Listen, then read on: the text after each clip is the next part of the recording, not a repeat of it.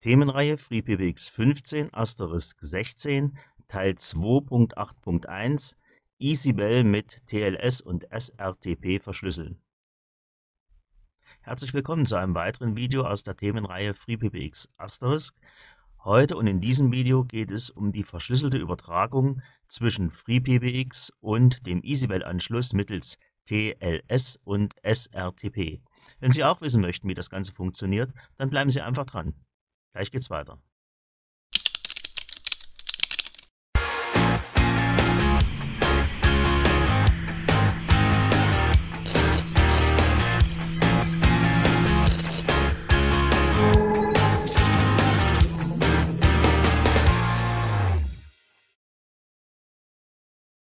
Was wird benötigt?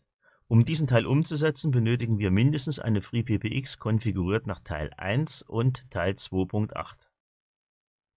Wie alles bei EasyBell, so ist auch die Verschlüsselung relativ schnell eingerichtet und ich zeige Ihnen jetzt, wie man das macht.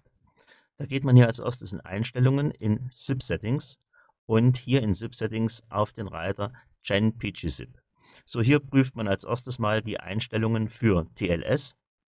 Hier reicht also das Default-Protokoll. Wichtig ist hier TLS-Version 1.2 bitte einstellen. So etwas weiter unten findet man hier das Protokoll TLS, das muss natürlich aktiviert sein. Und für das Protokoll TLS muss der Port 5061 eingestellt sein. So, jetzt noch ein paar Einstellungen im Trunk. Da ruft man also die Trunk-Konfiguration von EasyBell auf, geht hier auf den Reiter PG-SIP-Einstellungen und stellt hier auch ebenfalls den Port 5061 ein und hier anstelle des Protokolls UDP stellt man TLS ein. Als SIP-Server stellt man dann hier noch ein secure.zip.easybell.de. So mit TLS, da wird ja nur das Signal übertragen. Man muss sich das also so vorstellen, äh, in der VoIP-Kommunikation haben Sie immer zwei Dinge, die übertragen werden. Das heißt also einmal das Signal, zum Beispiel das Rufsignal an sich, das wird hier mittels TLS übermittelt und die eigentlichen Sprachdaten, die werden über RTP übermittelt. Und äh, dieses RTP-Protokoll, das muss man natürlich auch verschlüsseln, denn ansonsten ist die Verschlüsselung ja nicht vollständig. Und das tut man hier und erweitert. Da fährt man ganz nach unten, findet hier Media Encryption und hier stellt man ein SRTP, also nicht mehr RTP, sondern SRTP, Secure RTP. So, damit hat man den Signalweg und die Kommunikationsdaten beide verschlüsselt. Das Ganze noch absenden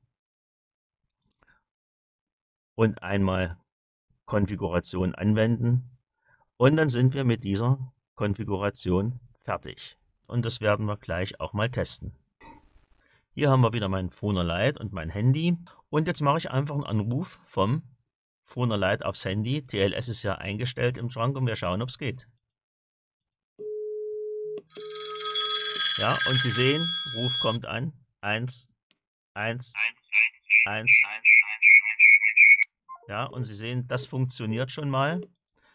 Und jetzt machen wir das Ganze auch noch in umgekehrte Richtung, indem ich vom Handy aus in der FreePBX anrufe, auf dem Phoner Lite und schauen, ob das auch geht.